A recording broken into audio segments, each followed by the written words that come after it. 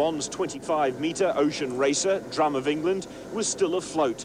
The keel of the $2 million yacht had snapped off and she had overturned.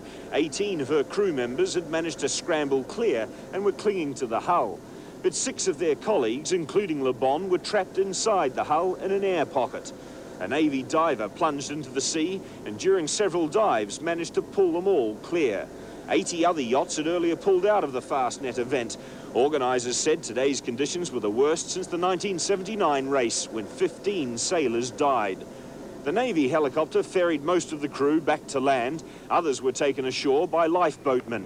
Several were taken to hospital to be treated for exposure, although none are reported to be seriously injured. The lucky ones, including Le Bon, dried off at a local hotel. It was, no, I say terrific. It's not the right word to use. A very frightening, loud bang, a couple of bangs.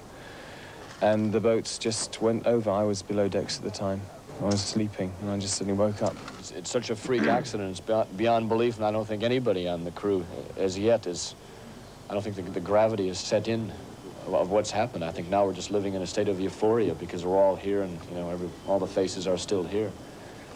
Simon Le Bon won't forget the experience, nor will his Cornish fans who'd soon besieged the normally peaceful... When his million-dollar yacht, Drum, capsized in heavy seas during the final race of the Admiral's Cup Series. The six men survived only because they were lucky enough to be caught in an air pocket as the yacht rolled over. Severe gales during the race from Plymouth to Fastnet Rock off southwest Ireland have already forced 15 of the 52 yachts to retire from the Admiral's Cup. The million-dollar ocean racer Drum, owned by Duran Duran Simon Le Bon, became another victim when its keel snapped. The boat capsized in heavy seas. Although most of the crew struggled to safety, Le Bon and five other crew members were missing. After a frantic search by Navy divers, they were found trapped under the hull in an air pocket.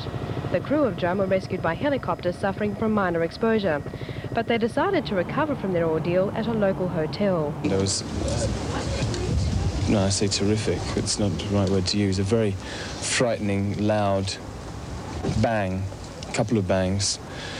And the boats just went over. I was below decks at the time. I was sleeping, and I just suddenly woke up. It's, it's such a freak accident. It's beyond belief, and I don't think anybody on the crew as yet is... I don't think the, the gravity is set in of what's happened. I think